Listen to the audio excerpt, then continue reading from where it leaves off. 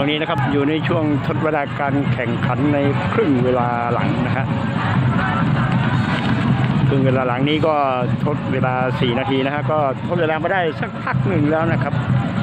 การแข่งขันฟุตบอล M150 แชมเปี้ยนชิพอ่า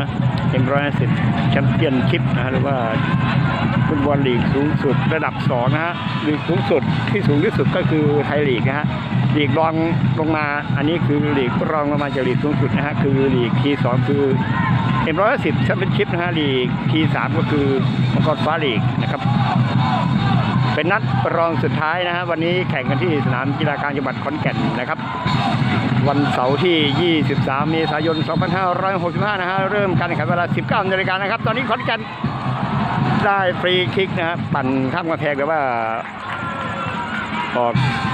เฉียดเสาแรกไปนะครับไม่ได้ประตูนะฮะไม่ไม่ตรงกรอบนะครับออกไปเองนะครับเจ้าบ้านขอนก่น FC อยู่ในเสื้อสีเหลืองนะครับจะใส่ตั้งรับอยู่ฝั่งนี้นะครับบุกไปฝั่งโน้นนะ ส่วนทีมเยือนคือเกษตรศาสตร์ FC เสื้อสีแดงนะครับ ตอนนี้เกษตรศาสตร์กำลังได้ลูกเตะขึ้นมานะฮะ เกษตรศาสตร์บุกขึ้นมาแล้วครับออกไปทางปีกขวา เดี๋ยวเราผู้เล่นขอนแก่นก็มาด้านในอ้าวปล่อยให้เพื่อนจะไม่รู้กันนะครับกลายว่าเป็นปล่อยให้กับทางขอนแก่นออกมาทางด้านกราบซ้ายขยับเข้าไปอีกนิดนึงนะครับช่วงนี้เป็นช่วงทดเวลาการแข่งขันอยู่นะครับ ก็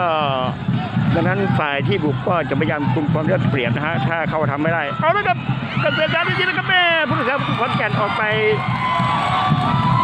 สกัดบอลไม่ได้นะฮะรับไม่ได้นะเอ่อแอบตีนังกาเลยฮะ จักรยานอากาศเลยนะเพราะว่าโดยมากแล้ว ทีมที่บุกอยู่เนี่ย ถ้าว่าถ้าไม่มีโอกาสก็จะพยายามครองบอลไว้เพื่อไม่ให้ผู้ต่อสู้ได้มีโอกาสได้บอลขึ้นมาบุกตัวเองนะครับ เพราะว่าอยู่ในช่วงทดเวลาการแข่งขันอยู่นะเป็นไงครับกรรมการเป่าหมดเวลาการแข่งขันแล้วครับทั้งคู่เสมอกันไป ศูนย์ประตูต่อศูนย์นะครับศูนย์ประตูต่อศูนย์ไม่สามารถทำประตูกันได้นะฮะอ่าหมดเวลาการแข่งขันนะครับโดย T-Rex ขอนแก่นเอฟซีก็เสมอกับเกษตรศาสตร์เอฟซีศูนย์ประตูต่อศูนย์นะครับก็เก็บได้ทีละแต้มนะครับการแข่งขันจบด้วยความสุขของแฟนบอลนะครับ ได้ดูบอลดีๆนะครับนะครับก็ถือว่าเป็น สนุกแบบนึงเลยทีเดียวนะครับฮะทำเองเองเหรับผมก็ต้องใครคุณเก็บไว้แฟนบอนะครับที่มาเชียมันร์มาให้กำลังใจจนสิ้นสุดอยากอยากได้ นัสุท้เลยว่าครับผมภาพวิดีโอบ้างไงอ่าภาพเป็นไหนบ้างต้นราชบอลครับนะครับก็ไปนัดสุดท้ายนัดสุดท้ายเกษตรศาสตร์เล่นในบ้านนะก็จบการแข่งขันนะครับเกษตรศาสตร์เล่นในบ้านพวกพบกันใหม่รับพูดบอลเลอร์ในฤดูกาลต่อไปคอยติดตามข่าวคราวนะครับแล้วก็เชียร์กำลังใจกันต่อไปนะครับเพราะว่าเราอยู่กันมาเรียกว่าเอออ่า หลายสิบปีใช่ใช่นะครับนะครับแฟนบอลของผมดูอยู่ซีโอเคที่อยู่ด้วยกันมายาวนานนะครับ ถึงแม้จะอย่างไรเราก็ยังอยู่ด้วยกันเป็นครอบครัวเดียวกันสม่ำเสมอตลอดมาก็ฝากแฟนบอลไว้นะครับพบกันใหม่ในฤดูกาลต่อไปนะครับ แล้วก็คอยติดตามข่าวข่าวของคอนเทนต์ซีวันนี้ขอให้ทุกท่านโชคดีครับ เดินทางกลับภูมิลำเนาโดยสวัสดิภาพร่ำรวยร่ำรวยครับ โชคดีมีชัยทุกท่าน อย่าเจ็บอย่าจนครับ สวัสดีครับ สวัสดีครับ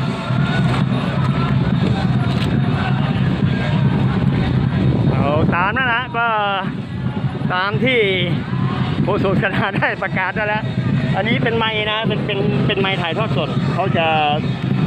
วางไว้ตามจุดต่างๆรอบๆสนามเพื่อเวลาเวลานักกีฬาเตะฟุตบอลในสนามจะดังปักปักปักเห็นไหมที่เราได้ยินเสียงกันนะเพราะว่ามันมีไมค์รับเสียงอยู่ใกล้ๆสนามอยู่ตรงนู้นก็มีนะ ไม่ใช่มีตัวเดียวนะหนึ่งสองสามสี่ห้าหกเพราะว่าน่าจะมีอยู่ประมาณไม่ต่ำกว่าหกตัวด้านหลังก็ต้องมีด้วยกระจายกันอยู่เกษตรศาสตร์เอฟซีเสื้อสีแดงโอ้โหนี่นะเนี่ยเกรียงไกรพิมพ์รัตน์นะฮะหมายเลขแปดวันนี้มาเล่นอยู่กับเกษตรศาสตร์เอฟซีนะฮะเมื่อก่อนคือนักเตะตัวหลักของ ชลบุรีเอฟซีนี่ผู้รักษาประตูผู้รักษาประตูก็กิจกิจชนะกิจเอ่อกิจชนะกันกลิ่นลงมาแทนผู้เล่นหมายเลข30 ผู้รักษาประตูของเกษตรศาสตร์เอฟซีที่ได้รับบาดเจ็บในช่วงท้ายครึ่งแรกก็ครึ่งหลังก็ ก็คือ ประตูหมายเลข30ของเกษตรศาสตร์เอฟซีก็อยู่ในช่วงทดเวลาการแข่งขันครึ่งแรกก็ได้รับบาดเจ็บก็ต้องต้องต้องไปดูกันที่โรงพยาบาลนะฮะก็เลยครึ่งหลังต้องเปลี่ยนเป็นกิจนะกันกินลงมา แทนกิจนะกันกินนี่ก็เมื่อก่อนนี่ก็เล่นอยู่ทีมดังในไทยลีกเช่นเดียวกันนะฮะทางด้านกันที่บอกนะฮะโน่นะฮะ นักเตะของเกษตรศาสตร์เอฟซีนะฮะเกรียงไกรพิมพ์รัตน์นะฮะอดีตผู้เล่นของชลบุรีเมื่อก่อนนะนำนำเพื่อนร่วมทีมนะ ไปขอบคุณกองเชียร์ขอนแก่นเอฟซี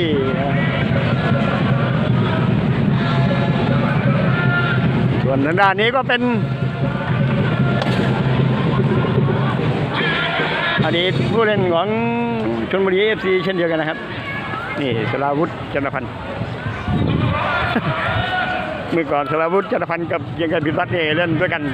ในชลบุรีเอฟซีตอนนี้สราวุธก็ผันตัวเองมาเป็นทีมสตาฟโค้ชแล้ว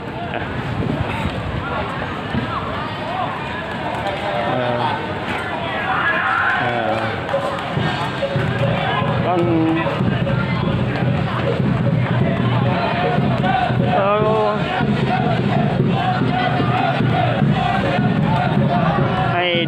กาศหลังการปล่อยยาวไปทางการแข่งขันไปให้ท่านได้เห็นบรรยากาศนะ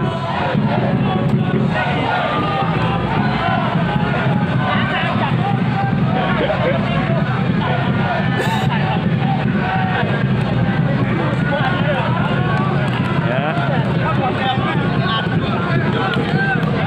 อ้าวสวัสดีครับเป็นไงมาตอนนี้มาทำอยู่เกษตรด้วยเหรอ เออเดี๋ยวเล่นด้วยกันนะเกรียงไกรเมื่อก่อนเล่นอยู่ชลบุรีชลบุรีเอฟซีโอเคได้เจอนานครับสวัสดีครับนี่เป็นสราวุธจันทพันธ์นะเอ่อเขาก็จำผมได้นะกรรมกรเขาก็เล่นด้วยกันในทีมชลบุรีเอฟซีนั่นนะตอนนี้ก็บางคนก็ยังเล่นอยู่บางคนก็ยังก็ยังมาเป็นทีมสตาฟอะไรอย่างเงี้ยนะอันนี้ก็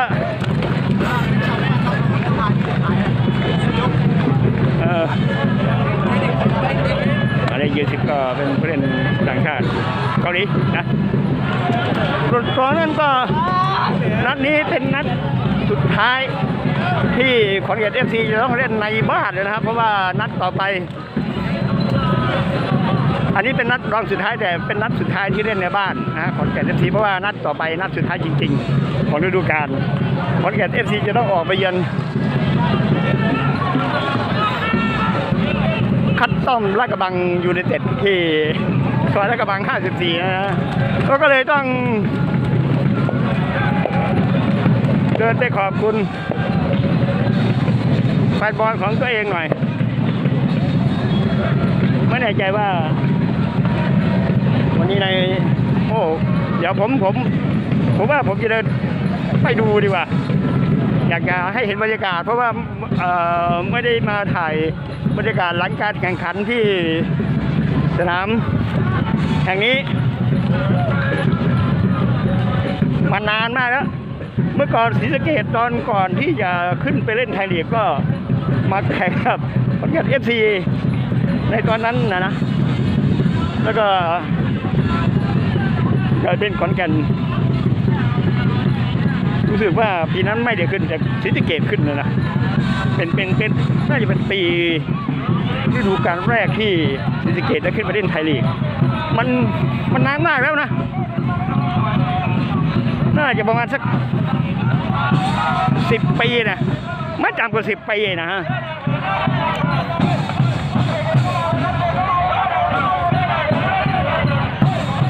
นะ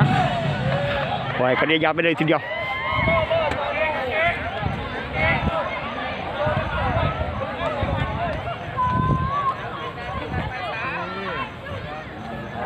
Support your local football team สนับสนุน ทีมท้องถิ่นของคุณนะ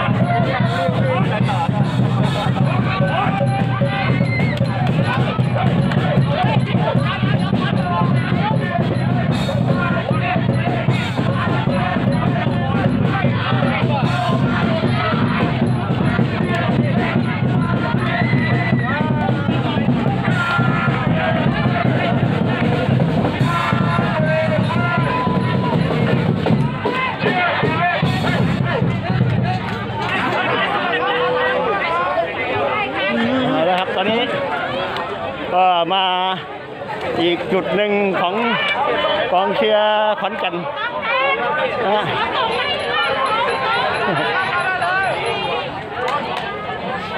เดี๋ยวให้ก็ถ่ายรูปก่อนนะฮะเดี๋ยวเดี๋ยวเราค่อยเข้าไปถ่ายเพราะว่า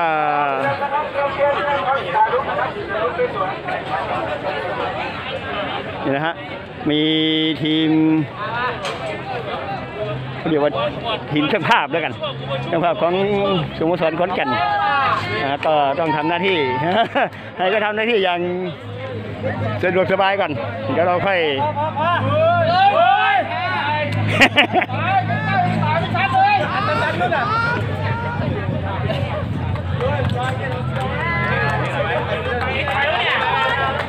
อันนี้ก็จะเป็น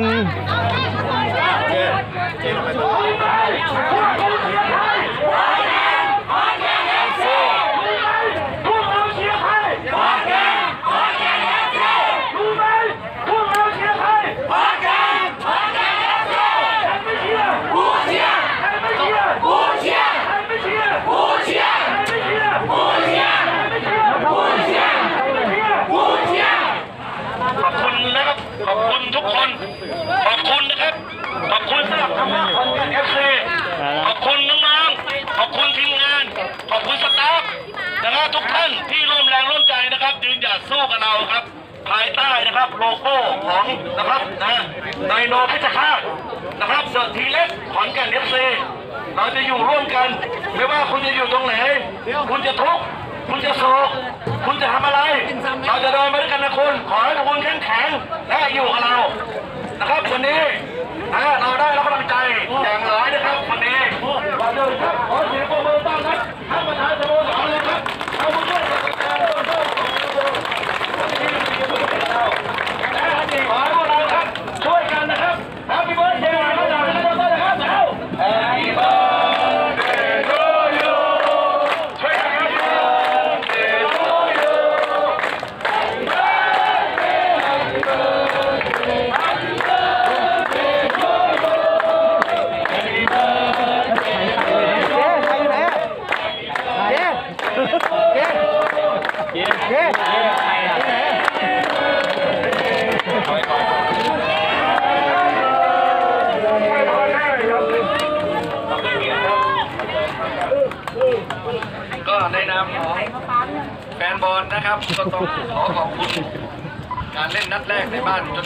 ถึงนัดสุดท้ายในวันนี้ ให้พ่อครับแฟนบอลทุกคนที่ดูในที่นี้เป็นแฟนบอลที่เสียสละ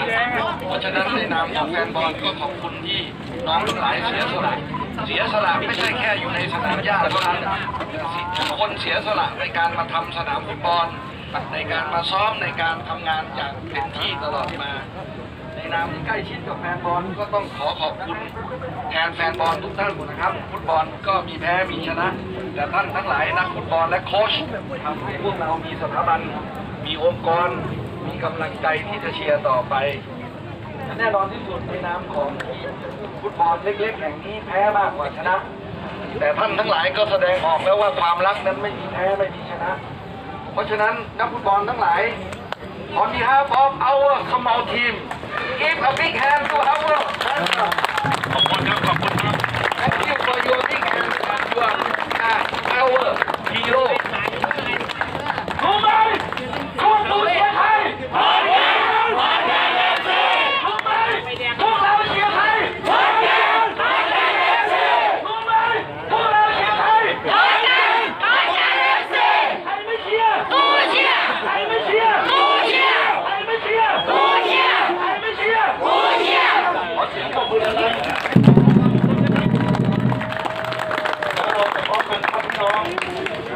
นนะครับยืนเป็นกำลังใจ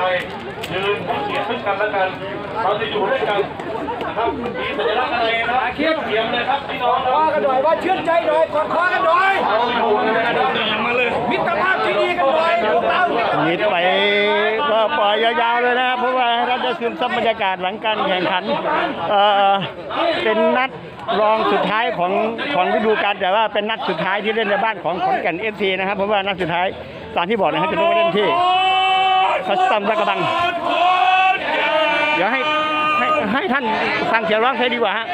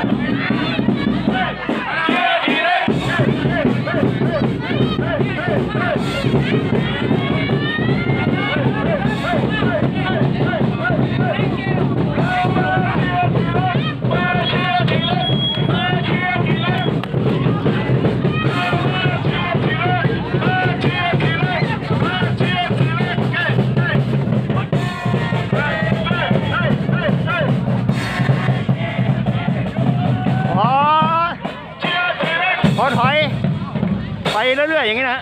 โอเคให้ท่านได้เห็นบรรยากาศ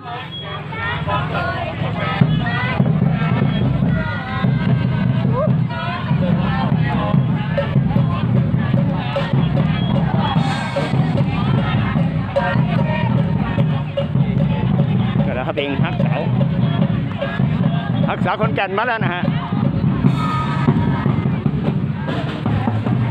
ให้ เสียงเพลงมันค่อยๆ จางๆ ไปเรื่อยๆ ตามระยะทางที่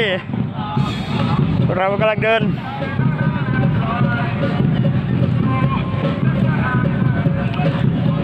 กำลังเดินกลับ โอ้ย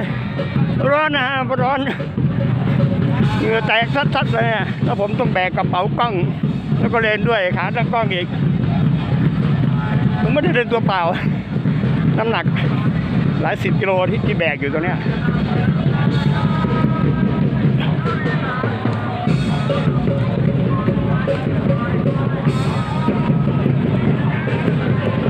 คงจะมาได้สัมภาษณ์อะไรมากแล้วนะเพราะว่าคำพูด หรือว่าการแสดงความรู้สึกอะไรหลายอย่างก็ได้อยู่ในคลิปไปเรียบร้อยแล้วนะอันนั้นเป็นความรู้สึกที่ เป็นธรรมชาติมากที่สุดละนะเป็นเป็นบรรยากาศที่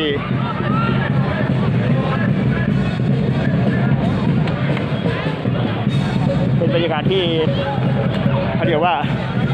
น่าจะสุดยอดที่สุดละบรรยากาศและกันกัน เด็กๆแกนครวิทยาลัยเอา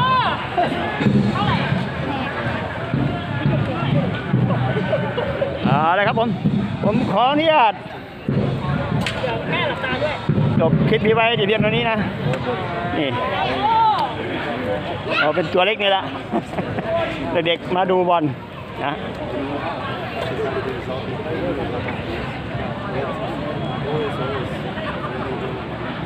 นี่ครับ ก็เดี๋ยวตัวโน้นเขา ผมจะให้ท่านได้ชม บรรยากาศตรงนี้ก่อน ก่อนจะ